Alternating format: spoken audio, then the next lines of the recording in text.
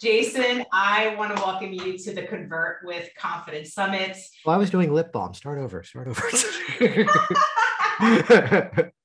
you know, I, I, put together this summit for you know coaches and consultants, and of course, course creators as well as we're all trying to create more passive income for ourselves. However, we're getting stuck in the process of actually converting right? We're all trying to maybe maybe a lot of us have been in business for a while and we're trying to scale but there's something happening. Maybe we have that perfect script but this perfect script is just not working anymore. Maybe it worked for a while but it's not working anymore. So jason i want to welcome you to the convert with confidence summit. Jason is a hypnotic influence expert who helps coaches and course creators get more premium sales. So jason i want to welcome you. And can you first tell the audience like what what motivates you to do the work that you do? Yeah, thanks for that introduction. What I'd say becomes the motivation is this idea that I keep meeting people over the years that are incredible at what they do and are wonderfully skilled in whatever their specialty is, they are changing people's lives. And yet, by accident, and I would normally say by no fault of their own, but really is by fault of their previous actions, they unfortunately fall into a commodity based way of thinking, to which then translates to the fact that their clients or their potential clients see them only as the category they're inside of. So here's the person who's just the other insurance rep they're now going to work with, just the other health coach or personal trainer they're going to work with. So, really, the opportunity is that of helping people to shine, helping people to step into that expert guru role and to really communicate in such a way that well what good are their skills unless there's actually people on the other side mm-hmm. benefiting from what they do and this is an audience that's often a little cautious around sales so then the solution is that's why we ought to communicate in such a way to have people wanting more from us even before we make the sales offer yeah, I can even think in, in my own um, in my own experience. I remember I would be on a call and like the customer would be surprised. There was an element of surprise when I said my rate, and of course, it's right. It's because something hasn't been done yet. Right. right. That that's one of those biggest takeaways that people ought to have from these conversations here, which is that if you're waiting to that point of sale to ask for the sale, you've already clearly missed something. Mm. You need to be telling the stories, you need to be asking the questions, you need to be setting the foundation of authority so that person is already telling themselves the story. And this is what's going to bring, of course, I'm sure, the ethics into this conversation. That if those things align with them, now the conversation continues if those things do not align with them and perhaps it's criteria that's not important to them we're going to find a way to respectfully exit that call mm. yeah I, I see you you use this phrase ethical sales and I, I really wanted to highlight this because I know me personally, I've talked to other coaches and other consultants who, as I speak to them, it sounds more like it's not ethical, right? So can can you first talk about like what's what is ethical sales compared to like what you find maybe a lot of coaches and consultants are doing? So where people often, and I'll, I'll tell the story to intro this right, uh, which is that for what I do and for the communities that I run, we run advertisement online to bring people into our world. And discovery number one is uh, there's these things on the web called trolls uh, if you've heard of them. And there's a modern philosopher, what's her name? Um, Taylor Swift, who said that haters gonna hate. And if you can own the first concern of what you do before someone else could have the idea, basically satisfy objections before they arise, that's what helps you to get the foot in the door. So it's where there's this ongoing gag with my advertisement team that I work with, where the first sentence usually has to be, no, it's not about tricking or manipulating people. It's mm. about helping people achieve a mutually positive outcome or some paraphrase therein of that. Because at the end of the day, when we hear these words of influence or even persuasion, people start to create some ideas in their mind as to what that might mean. But the truth is, all communication, when it's done appropriately, is influential, even if it's only a matter of saying to a friend, let's go here for dinner on this night it's always going to have some intended result. And to call it out, there are some who are in the space that I, I sit in that are all about the objection crusher, the here's the way to twist the I need to talk to my spouse situation where it becomes like emotional leverage. And um, people don't feel good after that. And if you're doing sales in that style, step one, stop it. You're part of the problem. And step two is to operate instead towards this greater good because the first point of sale is just the beginning of a much bigger conversation. I'd rather have that person on the other end of the situation as the raving fan who is now bringing in their friends, bringing in their business partners, and helping to elevate other people. So I come back to the idea of that of systems. I talk about checkpoints of linguistics, where, like a runner on the track with all these hurdles, we're only moving to the next step as it's good for both people involved. And I, I'd share a quick story to illustrate this. Sometimes it might be as simple as you know what your product delivers, and yet what that person is looking for is something very different. And, and this was a simple one. I'm on this call, and clearly she needs a graphic designer. And I teach linguistics, I teach systems in terms of scalable business based on these hypnotic language principles. And she needs a graphic designer. To which I say, hey, here's what my program is, here's what you responded to, and I'll call it out. That's not what I do. However, here's the graphic designer in our influence community. Would you like an introduction? And end of the story is not meant to do the self pat on the back and say, look how awesome this was. Yet, because I didn't try to sell her something that wasn't what she was looking for, yeah. she connected with this graphic designer who had an outstanding experience who then said a lot of really nice things about what I helped her to do. And the person eventually, in a much more organic way, joined our community. So serve the person better. It's going to serve you better in the long run.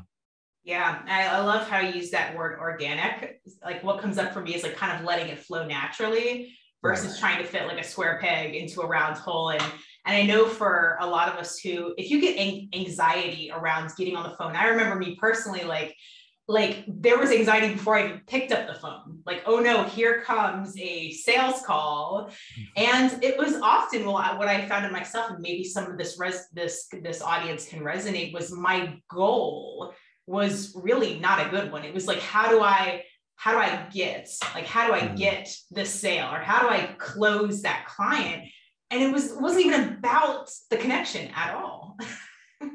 Well, yeah, in that situation, then it's about what's in it for you. Yeah. And instead, to connect every bit of that emotion, this is the formula I share, even if it's a matter of building up that confidence and getting rid of others, what others would call imposter syndrome.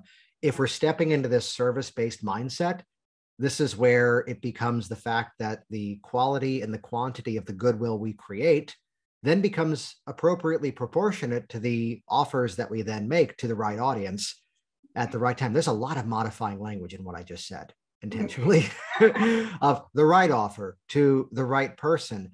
Yet, as I go into that conversation with someone, and it's all about how can I best serve them? And yes, appropriately, if I see that there's a solution inside of a program that I offer, then it makes sense to make that offer. If I see it's going to be something else, and this is where when you're going into a call with a preconceived notion you may not be serving somebody. Uh, quick story which i'll make brief.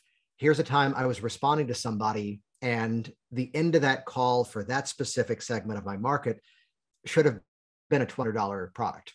And at the end of it i said you know what you're asking for there's elements of this in that online program which is more self-paced you're going after something that the potential for income is much higher. So that's option A. Here's option B, which is more one to one time, getting more into the details, and even having some of my design team build some of those assets out for you. Uh, I'll tell you in advance, it's going to be substantially more than option one. Yeah. Should we chat about that or no? And he goes, That's what I need and in that moment gave me permission and again it's not for bragging or boasting gave me permission to then basically make let's get the numbers in a $12000 offer which then became this ongoing thing. He recouped that and so much more. So by being open and not be going into it as a preconceived idea that's where again back to the ethics back to the real mindset serving people and helping. Yeah. And I think if you're if you're watching this and you're you're not maybe working with your dream clients, I know this was one blunder that I was making was like was like yeah backing up and asking like wait a minute. Like wh- why are we even on this call? Like what do they mm-hmm. want? And so you know, Jason, for those of us who may be struggling to find more qualifying clients, like maybe, maybe some of us are struggling with clients who are not like following through on the homework. They're not, they don't, they maybe they reschedule a lot. They don't really show up for sessions. They're not prepared. You know, how can we, you know, are there maybe two ways we can, or what's missing to find more qualifying clients that are not going to drain us, but in fact, actually, you know, we're feeding off each other's energy and everybody's getting more results? All right. So, two things come to mind here. One would be asking for the sale at the wrong time. And that right there is why there's so many people who, in my opinion, have this negative expectation of sales, whether they're on the giving end or whether they're on the receiving end. That what's often happening there is someone who, almost to the extent of metaphorically as assault, went to the offer way too quickly and we were not yet qualified to make that decision. I need to expand on that word. Uh, years ago, I had a bad habit of spraining my back.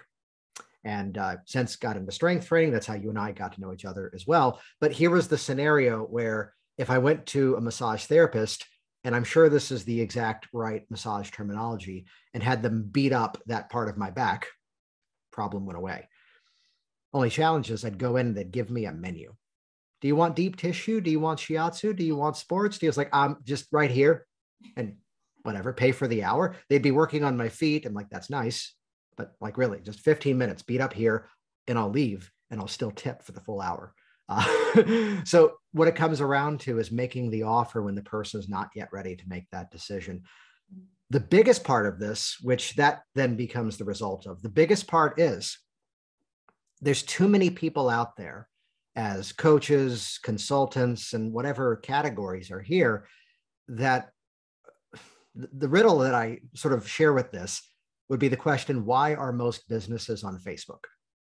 And the answer, unfortunately, is because they think they're supposed to be. And that's unfortunately the end of their strategy. Yeah. When instead, every piece of content, there's enough people out there saying, just put yourself out there, share content, every piece of content you ever produce needs to satisfy one of several important bullet points. So, first of all, from a 30,000 foot view, our content needs to be magnetic. And what I mean by that is either it's going to attract in the people who are a fit for what we do, and here comes a modifying word, will respectfully repel away yeah. the people who are not a fit, or let's be a little bit more positive there, not yet a fit for what we do. From that, too, we can look at the content we actually produce. And this is a, a huge moment for many people to realize the stories we tell also start to help people to align with what they're looking for. So if you're in a service which is, let me work with people that everything is in shambles, everything's falling apart, and I need to build up out of nothing, then tell those stories. When instead, if you're working with more of a higher level clientele, ask yourself, what stories do I have? So, an example of this, depending on the audience that's in front of me, there's two stories that begin the same way. And there's a time span of about seven years difference between these two stories. Version one is I'm standing in this empty office that I've just signed a three year lease on, and I don't yet have any clients, and I'm terrified. Mm. That's the story I tell when I'm in front of more of a startup audience. Meanwhile, here's this other story we're standing in the same office. And in this story, it's years later. And I thought I had figured everything out. I thought I was greatest thing ever. My schedule's filling up. I'm getting invited to speak at events. And I had to take a call from a client who was putting everything else first and running late. And I was not there for an important family event. And it was this moment where conversation with everyone at home was we needed the money. And it was because at that point in my story, on paper, wow, the schedule's filled. I'm doing great. Yet I was not yet putting the real value to what I was doing. So you see, that's a different story that I'll highlight because that's the story I'll tell to bring in those people who want to break out of that commodity example. So at the end of the day, the content we produce, you need to put more thinking into it. This is why we share formulas as to what are the images, what are the pictures, what are the feelings that they're connecting with, so that the people who are matching up to that story now see you as the person to get to where the next step ought to be. So it's not just content for the sake of content. It's not just putting out the quiz in a group just to go, who's interested in this? It's instead everything we do tells a story. Make sure you're telling the stories that align with the clientele that you want to attract. Yeah. I, wow. Like so many things came up as you were telling that story. And I, I can remember times where I felt fearful to polarize people. And I and I'm sure some people watching, but some people watching are like, wait a minute, I don't want people to like move away from me. Like there's some fear there for whatever reason, money's tight, or you're just getting started, your your confidence or your maybe your self-esteem is attached to that, you know, having that sale go through. But but can you see why? Like if you appeal to everybody, if you're trying to appeal to everybody, you're trying to maybe be, be a people pleaser. right? Everybody needs a dog whistle. And let's just stop the conversation there. That makes sense. No, let's explain it. so if you've trained your dog to respond to the dog whistle, and you go to the dog park, you blow the dog whistle, you don't want every dog coming running because that's going to be a problem. Or if it's for my eight and 10 year old, it's going to be the coolest thing in the world because just puppies. Um, and instead, you want the right dog coming. That way you can pick it up and then go home. And this becomes one of those make or break moments I found for people in terms of stepping into that expert role. As soon as you realize what you do might not be a fit for everybody. Yes, you could probably adjust what you do to help a wider selection. Yet, phase one, ask yourself, who is this message going out to? Mm-hmm. Phase two is to then look at that and ask, and this is what's missing ask, what are their specific needs? What are their specific concerns? Yes, all of our clients have limiting beliefs, but none of them are walking around going, man, I got to get rid of these limiting beliefs. We need to put it in their language. We need that data in terms of what they're actually looking for. And uh, do you mind if I share a strategy yeah, for this? Okay, yeah. So every piece of content is meant to do either one or the other or both of these things. Everything you do, and this applies even inside of a conversation. And again, ethics first, if it aligns, everything moves forward. If it doesn't align, it means what you're offering is not what they're looking for find a respectful way out. It's our goal. Let's go back to the massage story. Uh, they were asking me to make a decision that I did not yet have the criteria to make the best choice for myself. That's the fatal flaw in that story. Then again, I was already there cash in hand and in pain, so they still got my business. So that's uh, you know abnormality of this. Yet everything we're doing is looking to either change the criteria upon which someone is making the decision or to elevate their status in their mind. Let's talk status first. It's not that people don't buy from you because they don't either believe in you or believe in what you offer. One of the biggest flaws that you can help people to overcome is that belief system in themselves. Yeah. This is where, if we're telling stories, when the storytelling strategies are implemented correctly, you're inviting your audience to then place themselves in the story that you're telling, even if it might be this guy who I worked with five years ago. By using the right language patterns at the right time, you're bringing them into that story. And again, they're going to keep going. And what is that actually doing? That's having that person tell the story that not only one, I can make this change, but two, I believe this person can help me. Yeah. So part of that comes from the storytelling strategy that of how we can elevate their status and have them now changing the story of unfortunately here's another thing that might not work versus this is what i'm looking for the other part and this one gets technical for a moment but it's simple would be that it's our task very often to change the criteria upon which people are shopping most often people are shopping especially coaches well how many sessions how much and, and that doesn't mean that they're not motivated. That doesn't mean that uh, they're not a quality client. Sometimes, well, what the hell else would you ask? And it's instead our responsibility in that expert role to guide them to make a better decision for themselves. So the favorite story of this was a he did credit repair and he had a problem in his business. He had a lot of repeat clientele. Did you catch that? He does credit repair and his clients kept coming back to him. What did that mean? They did not learn their lesson. They bought another thing they couldn't afford, got credit screwed up again, and had to come back to him. To give this man credit, he went off and got training as a life coach, went through different financial training educational programs, and wanted to, again, stand out from a rather crowded marketplace. And the formula I'm about to share has embedded inside of it the principles of under promise, over deliver. And the mathematical formula is it's not just about X, though we are going to X. It's really about Y so that you can Z. One more time. It's not just about X, though we are going to X. It's really about Y so that you can see. So it's not just about fixing your credit, though we are going to fix your credit. It's really about changing your emotional mind connection with money so that you never need a service like mine again. Mm-hmm. As soon as he did that, he changed the criteria. Everybody else was selling this deep discount service that the potential client really saw for what it was. It was a band aid. It was paying someone else to swoop in and clean up the mess that they had made themselves. His offer was now substantially higher than everyone else.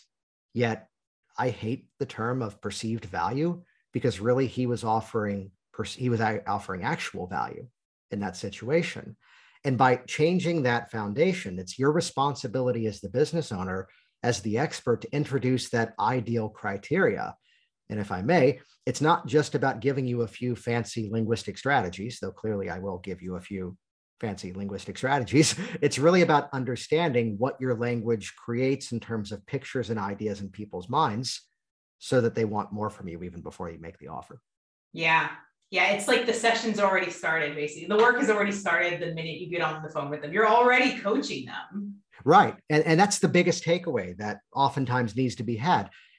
The sales process can really feel as if you're already beginning the actual work versus bullet points, features, and you'll know in the situation through what we call calibration what kind of buyer they are, how they make their decisions, and what's important to them.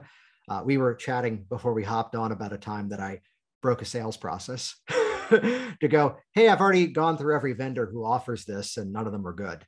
Uh, if yours is under this amount, I'm in. And they went, oh, it's this much. I go, great, let me get the card. Can we spend the next 30 minutes with you telling me how to use it? And it turned out to be a great experience. So that's where you don't have to hit me with the what's in it for you and you know what's going to happen if you don't do this if you're again doing those strategies with someone who that's not part of the decision making criteria yeah. that's where again you're going to be butting up against a brick wall and you're not serving that person yeah yeah i remember someone telling me a, a mentor of mine a while ago um, she kept telling me the energy is the same. Like whether it's a let's talk high ticket sales here. Maybe we're talking more than 5000 maybe 6000 10000 15000 and maybe you're like hey i want to sell something like that but you're maybe you're still selling maybe a few sessions at a time. You're selling by number of sessions or you're selling maybe one or two three thousand dollar programs. What what i what someone told me one day and maybe this will resonate with the audience is like it's the same energy whether it's a 6000 10000 15 and i was like what I contemplated that for months, and I was like, "What does that mean?" and then finally, one day, it, it it's it's I saw what she meant by that. It's everything you just talked about, Jason. It's like instead of yeah trying to like corner them, like you said, like, well, what's this? What's going to happen if you don't do this? It's like it doesn't even matter if they don't think they can. Right. right. Yeah. Well, it's again, it's about changing the story that they may already be telling themselves and again, only advance forward in the process when you see that it's in alignment with what that person is looking for. But you hit on something big there, which is the journey from $0 to $27 is even bigger than the journey from $27 to 5000 mm. That it's this connection in terms of, even I'm hesitant to use a phrase like an energy exchange, hmm. but it's the fact that now they've come out of that free category and instead into a much more premium category. And I, I have learned certain words have expectations in the mind. Uh, so yes, I teach systems for high ticket sales, but we call it premium sales. Why? Because it invites a new way of looking at a similar situation. The same as, and this is a standard reframe, you talked about the client who's not showing up and running late, uh, as was one of my stories I shared. And this may surprise people. Um, I've never had a cancellation policy in my, I've never had a cancellation fee in my business. It's interesting. Thousands of clients, one to one. It's a rescheduling policy. Yeah. so it's a different set of words, but a cancellation fee means how dare you? You're being penalized. Pay this, and you'll never see that person again, even it was their fault. Uh, instead, though, it's a rescheduling policy. Um, can I get colorful with language respectfully here? Absolutely. okay. We also do live by the "don't be a dick" policy, uh, which I think every business needs because hey, the kid's sick from school, or we had a moment where we were doing a live training event online, mind you, and she's falling behind in the schedule because you know there's a pandemic still going on. It's like, hey, you know how you're worried about catching up?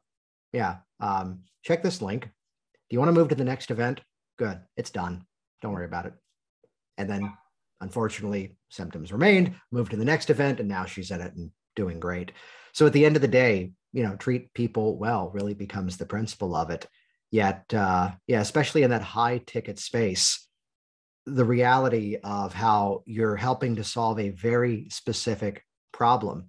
And really going back to what you said there about number of sessions, and the number of expectations, this is where the quality of the sales process we do is often directly proportionate to the quality of the questions that we ask. And for me to go into that situation and go in with a blank slate now, yes, I know um, I'm going to use the term of SKUs. I know the different SKUs in our business, even though there's no physical products, it's all online programs or services or group consulting. I know here's the things that are in mind, that here are my solutions, or sometimes it's a combo they're in. And it's by listening to that person, hearing where they are. That's where, back to the massage example, it's my responsibility to then say, based on that, I think the best choice is, and then present it. And then from there, ask the open ended question Do you think that's the best fit for you? And as you get a yes to that, you've now been given permission to then make the offer. So it's always, again, consent based, permission based sales. Yet, really, easiest way to tie this together two ears, one mouth. It ought to be proportionate. you made it, but I was like, no, yeah, that. Yeah, yeah. yeah, Jason. So, you know, as we wrap up, I know we don't have a lot of time, but maybe for those coaches or co- consultants who are watching, maybe who struggle with really sharing their desired rate. Maybe these are coaches and consultants who have been in business for a while and maybe their rates have stayed the same for a while and they're not they're maybe hesitant on charging more because of you know fear of rejection from their you know their current customers or even new customers like what might be you know what could we is there something we can shift so we can start to feel more comfortable about sharing let's say you know, we're now charging 997 a month or 2000 a month or versus like just paying for maybe, you know, a few sessions at a time. Like, um, what's one way we can start to feel more comfortable about raising our rates? Yeah. So one idea comes to mind, which there are some linguistics that are inside of this. And oftentimes, yes, there's work we can do in terms of boosting our confidence. I put that in the category of emotional intelligence. There's strategies we can use to connect more on that emotional level. At the end of the day, though, if you find yourself in a situation where, hey, business is already flowing in, things are already working quite well, and you're in that situation where now I've come around to this idea that uh, two things just because you're good at something doesn't mean you have to do it the rest of your life. And a phrase that comes right out of old school vaudeville theater the amateur changes their act, the professional changes their audience. So it's up to everyone out there. If they want to keep doing the same style of business with existing clients, maybe the quick moment to say, hey, we've changed the way that people come into this. So if you're ever making a referral, you know, just understand it's going to be a different situation. And I'll call something out on that one. Uh, I did that years ago with someone who often refers to me, and he knows 14 years ago, he came in for the first two appointments for $350. And here's the person who he just sent my way, which was a pay in full for a little over 6,000. Which, yes, in 14 years' time, I've gotten better at it. So we'll say that's slightly deserved. Yet also, I found the better way to work with those sets of issues and more of a hybrid, more uh, organic approach to it. Yet, I, would say this um, again, a little bit of a reframe here. I don't like the term upsell, it's instead an upgrade. And to even tap into the systems as to how it's a different process, it's a different set of psychological triggers for someone to be upgraded from a product into a service. Let's say if you're selling ebooks or a mini course as the way to bring people into what you do, it's also a different series of triggers in the mind to move from a service into a product or to talk to somebody who's expecting they're buying a service. And really, my favorite word for this is they're getting a hybrid approach, which is that as we're working together in real time, you're going to be in this community. Yet, if things are already working, you're in the situation that you can test you can play with the systems in a brand new way and there's safety to that so overall think the majority of people out there if business is already flowing in you probably don't have to do the free consult anymore. Instead this is where there's a linguistic pattern called a complex equivalence. It's like a cause and effect relationship where instead because it's raining i'm now wet. That's cause and effect. Because my microphone is plugged in you can hear me. That's cause and effect. Yet the fact that we're still having this conversation clearly means there's going to be an amazing audience for this event. Uh huh. and that's a complex equivalence where one piece of information becomes the meaning of another piece of information. So, so listen to the sequence of this. In one of my businesses that I don't necessarily have the interest in shutting down, I just have the interest in minimizing, but only working with the best clients for that style of work that I got my start doing, but now do other things. So rather than shut it down, we change the sequence as to how people get to me, which would be those people now watch a video presentation, uh, which Lydia is maybe about five or six minutes longer than it needed to be. And that was done intentionally. So I can land this little complex equivalence linguistic statement that you can imagine there's people out there who are just curious about this, who are just exploring the idea. And let's just call this out. Those are not the people who would watch a video this far into the presentation. And the fact that you're here clearly means that this is important to you. And now, obviously, from what I've shared with you, working with people one to one is not the only thing that I do. So, out of respect to everybody involved, uh, that's why you can see there's a button down below to schedule time to chat with me. And assuming the call goes as we know it will, you'll see the button does ask a $200 deposit. If call goes as we want, that'll then become a deposit toward your program. Or in the rare chance that it's not for you, it takes me three clicks and your money is refunded. So there's no risk to this. We just do this to be respectful of everybody's time. I did this to push away a segment of my business because there were other projects we were looking at growing. Um, and business took off once again so that instead I asked by a series of actions to become the signal that yes, they are the ideal clients. Um, I'm aware of bold claims. we are 100% of the person who pays the deposit working with me in some context, unless it's something that I make the decision that there might be some sort of let's say scope of practice type issue that there's some ethical reason why I would not be the best fit for them. Someone messaged a while ago going, Hey, here's this medical situation. Can you cure it? I'm like, No, I'm not a doctor, nor do I pretend to be one on the web. Yet here's someone I know who may be of help to that, but I've gone ahead and refunded your money because that's not what I do. And I, I did that just to draw a line very solidly. So those are the examples where we've done that. And if your business already has people booked out in advance, that's your safest place to test the system. And yours might not be $200 to kick off with, though it might even be higher. Uh, we have one place where people just pay 20 bucks.